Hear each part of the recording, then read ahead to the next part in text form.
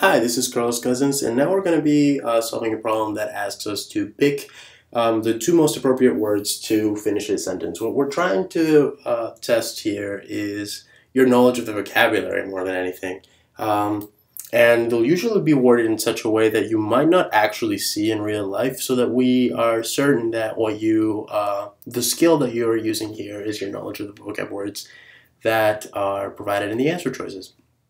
So let's go ahead and go through why each of these works or does not work. So, the executive, appreciated for his magnetic personality but criticized for his failed business ventures, attracted investors with blank that made them believe his projects had blank. So let's go ahead and try the first answer choice here.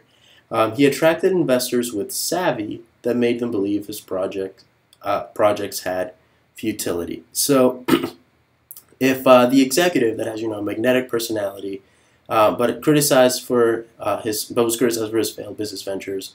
Uh, had some savvy. So if he was um, a person that was witty in the way that he did things, he would not have made people believe that their projects would be futile or that they wouldn't amount to anything. So this answer doesn't make much sense. For B, we have uh, corrosiveness and potential. So corrosiveness is something that eats away at something, um, whether that is trust or in a chemical reaction, um, some compound. So you wouldn't be using something that's corrosive to make to make somebody believe that a project had potential, um, because it, corrosive has a very negative connotation. So that doesn't make sense. Uh, the third option here uh, that he attracted investors with infelicity that made them believe his projects had integrity.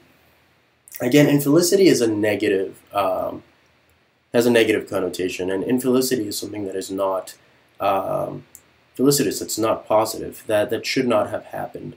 Um, and integrity is, uh, as I'm sure you know, something that um, is morally upright. So you wouldn't be using this option at all.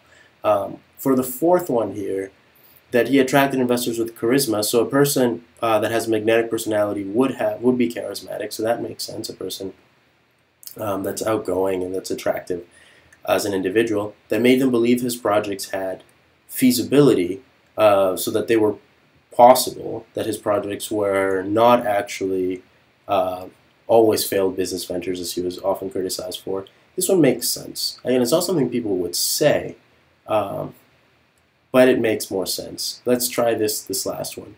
Um, attracted investors with steeliness that made them believe his project had probability. Um, a project doesn't really have well, you wouldn't describe a project as having probability, and that there's a probability that anything might occur. Um, even a failed business venture had a probability that there was a low probability that it would not have failed.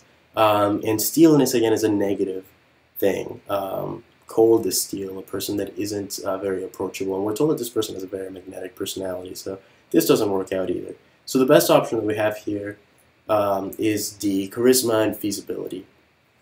Uh, again, charisma meaning a person that's outgoing, that's likable, and feasibility being something that is uh, possible, that has a chance of actually happening.